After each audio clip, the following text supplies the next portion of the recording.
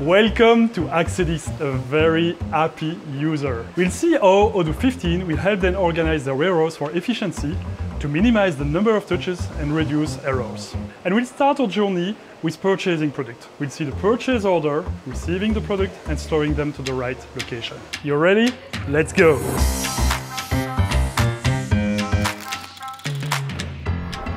Once you purchase the product, the truck comes a few days later and brings the products to you we unload the products in the dock.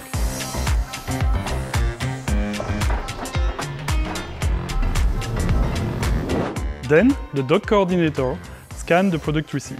He can build pallets and boxes together. All he has to do to identify the right receipt is to scan one of the products, just like that, and Odoo filters to the right receipt. When I select the receipt, he's, he's proposing me to batch all the receipts from the same vendor. That way, I will be able to scan multiple orders in one shot. Very easy. Then I can scan my products. I scan a product.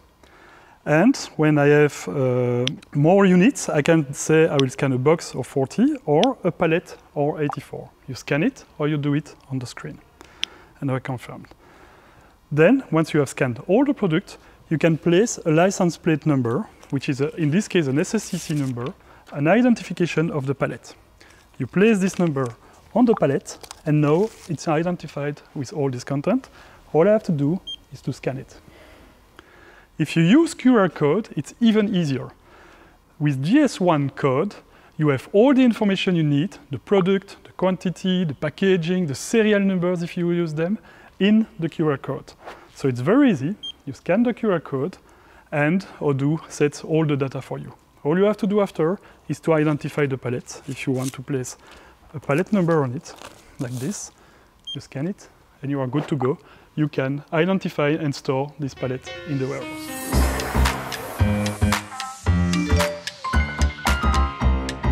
Perfect, right in time. Now, the material handler will store the pallet to the right location. All he has to do is to scan the pallet number, and Odoo will tell him where to store it in which location. It's based on put-away strategies that you can define based on the capacity of your bin, the type of packaging, or custom strategies like a triadic warehouse with slow, medium, and fast-paced products. Now that the products are stored, Patrick, the inventory manager, can launch cycle count. He can do it manually based on rules, that's what he's doing right now, or he can automate it with rules that he sets on the location. And once they set these inventory rules, the people will start the task. Based on the cycle count request, the worker can do his inventory adjustment. In this case, I have to check this product. I have three products in the system, but I see I have four. So what I can do is scan the four products just like that. So I have one extra. And I can validate my inventory adjustment so that the inventory level will be fixed. But maybe if I have four here, it's because there is one somewhere else in another location. In order to get the inventory level of any product everywhere in your warehouse, just scan it, just like that, and you see everywhere this product is located. And we see here that in another shelf, in another row, we have one of these products. And so I can fix this quantity too. Let's see now how to organize the customer flow from picking to packing to shipping. So we're back with Patrick, the inventory manager, and he will show us how we use the new reservation method in order to decide what should be done today. So we have three methods. One is as soon as possible, which was the only method available in Odoo 14, or he can do manually so that he controls when he wants to trigger what, or he can use X days before scheduled day to automate the process. So for example, we have FedEx coming in on Monday. So Monday morning, it triggers manually all the reservations so that we know we have to do that this day. Now that we reserved all the products to be done today, the inventory manager will decide who will do it and in which batch. For this, he has different picking strategies, batch picking, wave picking, or cluster picking. You can automate all these strategies, or he can do it manually to have a fine-tuning of what he wants to do. He is currently creating a wave transfer and assigning a responsible so that he will give a task to the worker. That is very efficient to automate your flow in the warehouse.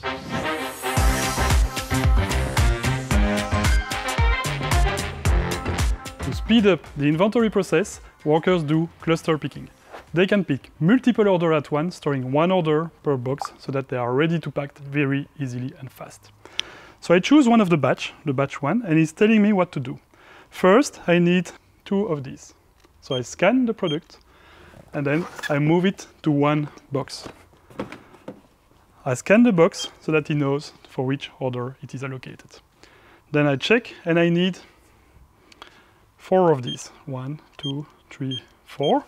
And I move the box in the same box because it's for the same order. So I put the four products right there, just like that, and I scan this box so that he knows that I put it for this order. Now I check and I need to do this one. And I need three of it. But this time it's for another order. So I move them in the right box and I scan the package. Once it's done, I validate the order and we are good to go. We, all we need to do now is to pack these products.